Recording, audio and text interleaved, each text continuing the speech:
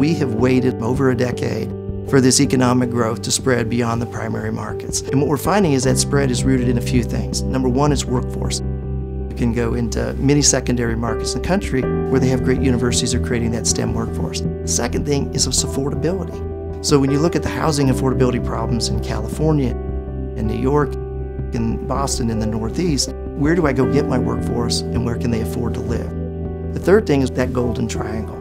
Tremendous number of secondary and tertiary markets, whether you're in Ocala, Florida, or you go up into Tennessee, into a Knoxville, further west into Alabama. Many of these towns, if you take a second look at them, affordability, workforce, and they're in that golden triangle with supply chain logistics.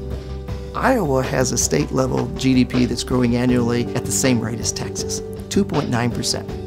What we found when we dug into it, there were over 40 universities within a 90 mile radius of the Quad Cities, creating all the kind of STEM workforce. So here's a place in the middle part of the country, a secondary tertiary market, that's creating workforce that people want. Second thing was when I dug into it, I saw this huge growth in trucking and logistics. It's become a major industry after harvest season for many of the logistics and trucking companies.